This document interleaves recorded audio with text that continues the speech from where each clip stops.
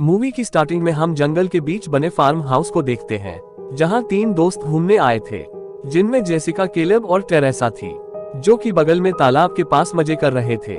लेकिन वहाँ बस दो ही दोस्त थे, दूसरी तरफ़ जेसिका की तबीयत खराब थी, और टेरेसा कुछ देर बाद जेसिका से मिलने अंदर रूम में आती है। पर जेसिका कुछ बोल नहीं रही थी। टेरेसा तब उसके साथ बैठकर किताब पढ़ने लगी, लेकिन तभी जेसिका बिना किताब को देखे डेमोनिक आवाज़ में किताब पढ़ने लगी। टेरेसा तब जैसिका से डर जाती है। जैसिका अचानक से पोजेस हो चुकी थी, और वो अचानक उल्टियाँ करने लगी। उसकी आँखों में खून समा गया, और वो टेरेसा को बेरहमी से मार डालती है, और फिर बाद में झील के पास जाकर केलेब का सर धड़ से अलग कर देती है।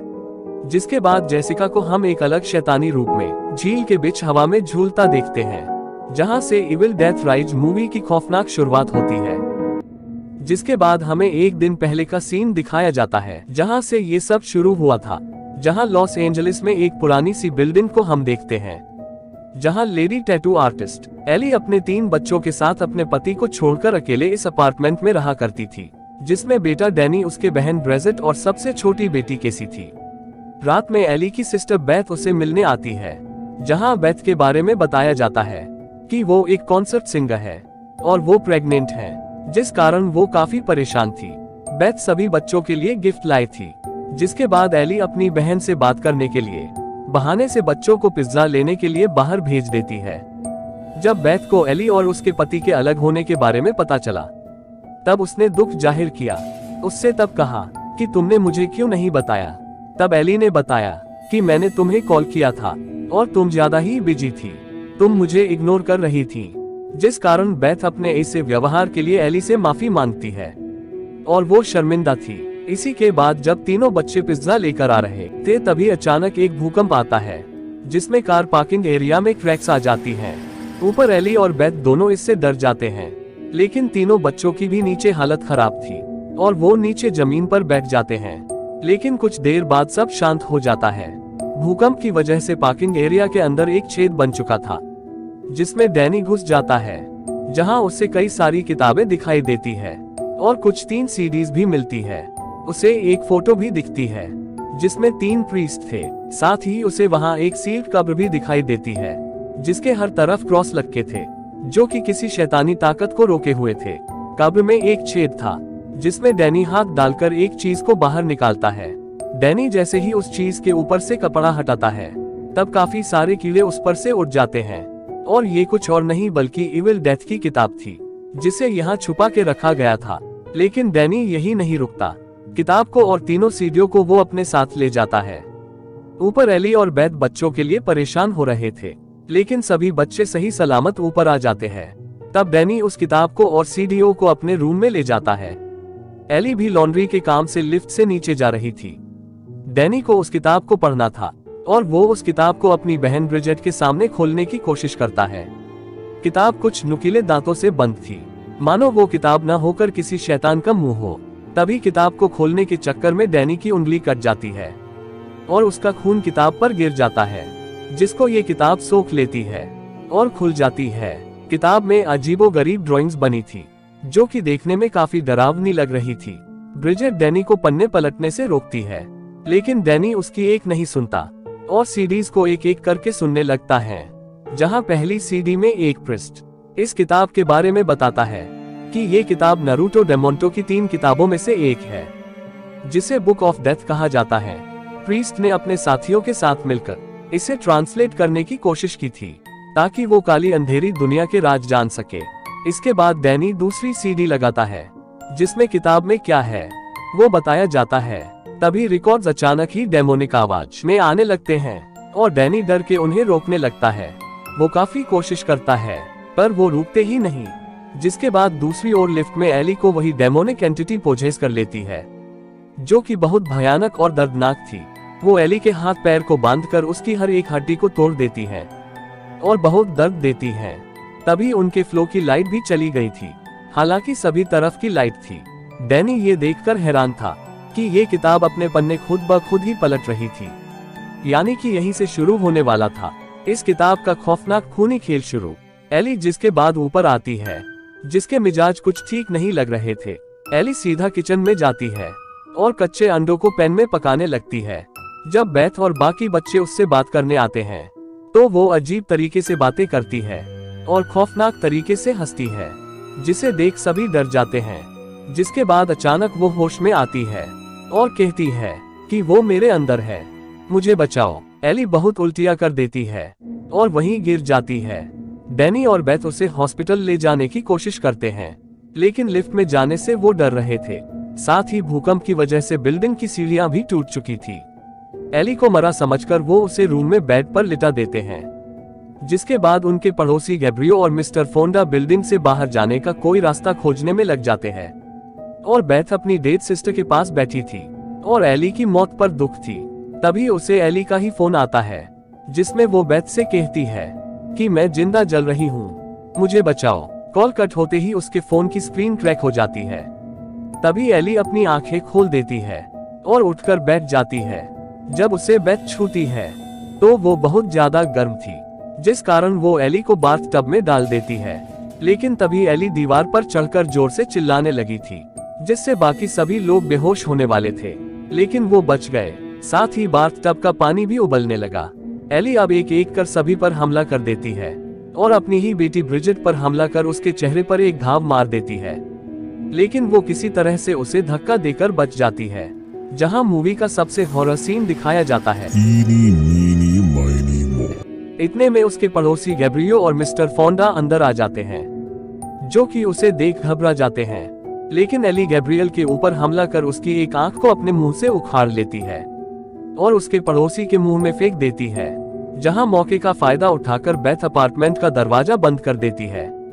और एली बाहर ही रह जाती है। जब वो दरवाजे के की होल से बाहर देखते हैं, तब एली को पोजेस करने वाले शैतान ने सभी को मार डाला था और सभी की खौफनाक चीखों से पूरा फ्लोर गूंज उठा। मिस्टर फोंडा गन से एली को शूट कर देते हैं, लेकिन वो उसे भी मार देती है। ब्रिजेट अपने भाई डैनी से कहती है कि ये सब उसी किताब की वजह से हो रहा है। बेथ तब उन्हें आपस में लड़ने से रोकती है। तभी पोजेस हो चुकी अली छोटी बेटी केसी को अपनी मीठी बातों में फंसाकर उससे दरवाज़ा हल्का सा खुलवा लेती है, जिसे बेथ सही समय पर बचा लेती है। लेकिन ब्रिजेट के साथ अजीब चीज़ें होने लगी। उसका घाव अजीब हो चुका था। उसके मुँह और कान नाक से काला लिक्विड निकल रहा था, और वो कीड़े उगल देती है। असलियत में वो एक डेड आय बन चुकी थी। और वो भी पोजेस हो चुकी थी, जहाँ एली ने दिए घाव की वजह से वो ऐसे बनती जा रही थी। ब्रिजेट पूरी तरह से डेमोन के कंट्रोल में आ चुकी थी, और वो बेथ के पैर की खाल चीज़ ग्रेडर से निकालने लगी। लेकिन किसी तरह से बेथ वहाँ से बच के भाग जाती है, फिर वो डैनी और कैसी पर हमला करती है। लेकिन केसी अपनी छड़ी ब्रिजेट के सिर के आर पार कर देती है, जिससे वो नीचे गिर जाती है। बेथ और केसी सोच रहे थे कि ये सब उनके साथ आखिर हो क्या रहा है।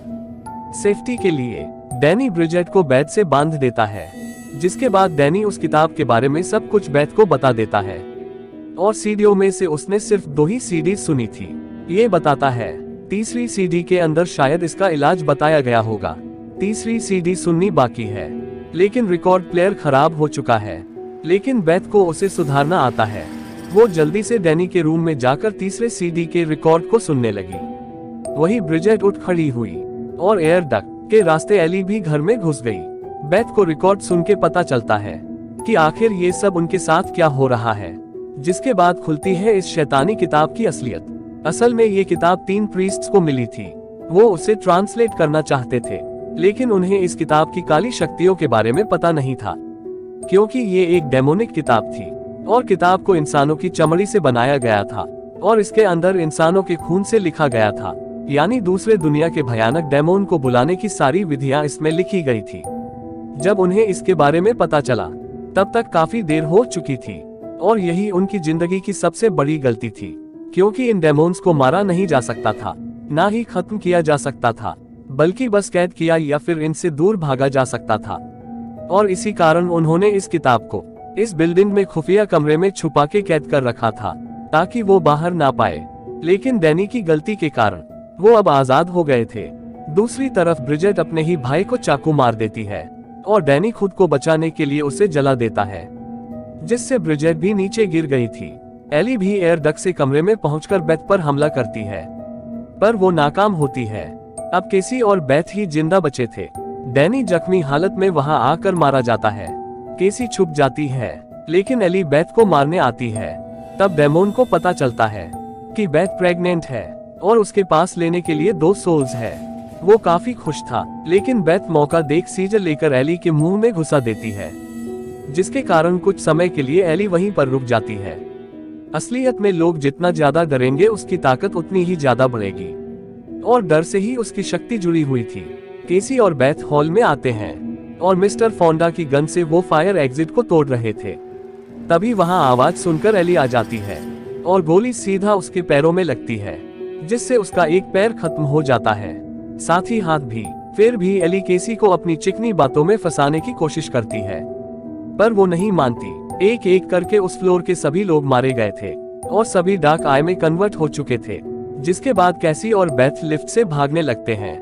दूसरी तरफ़ एली के जिस्म से सभी लोगों के हाथ और पैर जुड़ने लगे थे, जिससे लिफ्ट में खून भरता जा रहा था, और बुक ऑफ़ द डेथ खुद अपने एक पेज पर आती है। जहाँ कई सारे हाथ पैरों वाले डेविल को हम देखते हैं। इसी क्रिएचर में एली बदल चुकी थी, और लिफ्ट जैसे ही नीचे पहुँचती है, तब ओवरलोड की वजह से वो अचानक खुलती है। तब उसमें से ढेर सारा खून बाहर आता है। वो दोनों ही किसी तरह इससे भी बच के भागते हैं, और कार लेके बिल्डिंग से बाहर निकलने लगे। लेकिन दरार में कार फंस जाती है, जो कि भूकंप की वजह से बनी थी। तभी एली अपने नए शैतानी रूप में उनके सामने आती है, जहाँ वो केसी को पकड़ के चेनसो से मारने वाली थी। लेकिन उसे बैथ बचा लेती है, और उसी चैनसो से एली के डेमोनिक रूप को मार देती है, और ग्राइंडिंग मशीन में उसे डालकर उसकी बॉडी का पूरा चुरा बना देती है, और एक साथ उसका पूरा परिवार खत्म हो जाता है। इसके बाद वो दोनों वहाँ से निकल जाते हैं, लेकिन अभी मूवी का एंड नहीं हुआ था, जिसके बाद वहीं अगले सीन में दिखाया जाता है, कि एक लड़की लिफ्ट से नीचे आई। वो कोई और नहीं बल्कि मूवी के शुरुआत में पोजेस होने वाली जैसी ही थी। वो भी इसी बिल्डिंग में दूसरे फ्लोर पर रहती थी, पर उसे इस सब के बारे में कुछ भी पता नहीं था। और वो अपने दोस्तों के साथ घूमने निकल पड़ी। वहाँ वो भी पोजेस होकर सभी को बेरहमी से मार देती है। और ये तो बस शुरुआत थी, क्योंकि इस डेमोन की बस बॉडी खत्म हुई थी, ना कि शैतानी आत्मा, जिसे खत्म कर पाना नामुमकिन ही है। और यही evil dead rise part one movie का एंड होता है। आगे क्या होगा जानेंगे अगले पार्ट में। Thanks for watching